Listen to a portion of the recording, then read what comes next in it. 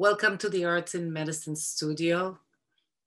Today, I'm going to share with Lizzie an incredible experience I had at the Metropolitan Museum of Art. Let me invite her in. Hi, Lizzie. Hi, Nitza. Great to be here. I can't wait to show you what happened to me last Friday when I went to the Met to meet my friend Clive. I was just walking towards this amazing building that is four city blocks long. And there was a tent in the front. And I just couldn't believe that the Met had a hideout because, you know, at the studio, we always build our own hideouts. But then I remembered that it was the Fashion Institute Gala coming up that Monday. But in my heart, it was our hideout. So I met my friend Clive and I set him down and I said, Clive, where is your hideout? Can I show you mine? So we both decided that our favorite hideouts were in Asia.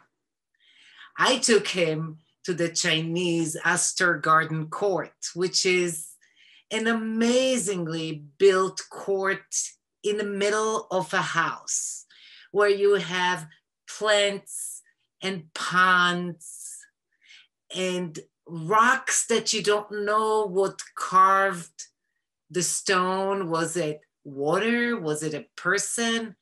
How was Snoopy made? And Clive said, Wait, let me show you my favorite place. And he took me to Cambodia. And he pointed out that in that big, vast room, right where the bamboo Buddha was, in the back, there was a hideout. And I said, You know, Clive, I don't like the dark. So I sat down and meditated. Wow, that's an amazing journey you just took.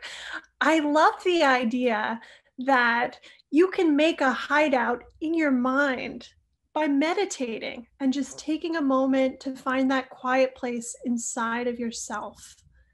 Nitza, this is so inspiring just thinking about all of the different ways we can find that quiet place and that hideout.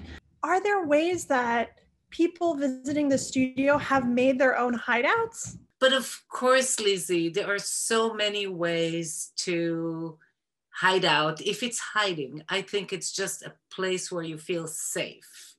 So we found big cardboard boxes and made big stores and houses out of it and hid in there.